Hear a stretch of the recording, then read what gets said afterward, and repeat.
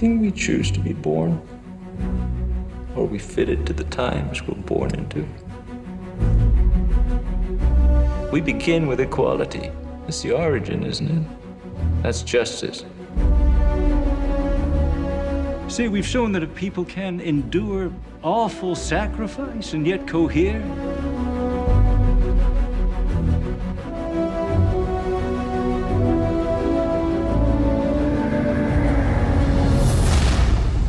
Shall we stop this bleeding?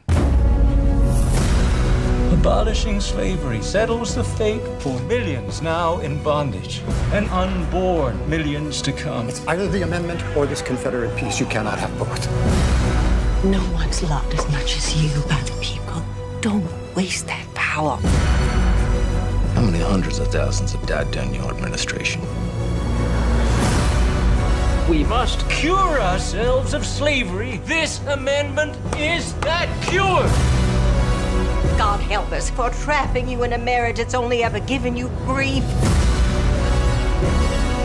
The fate of human dignity is in our hands. Blood's been spilled to afford us this moment. Now, now, now. Trusted the president, never trusted anyone. The war will be over in a month. Tell Lincoln to deny the rumors. We are guaranteed to lose the whole thing. Leave the Constitution alone. You insult God! You think they'll keep their promise? I am the President of the United States of America, clothed in immense power. Rated PG 13. In theaters everywhere, November 16th.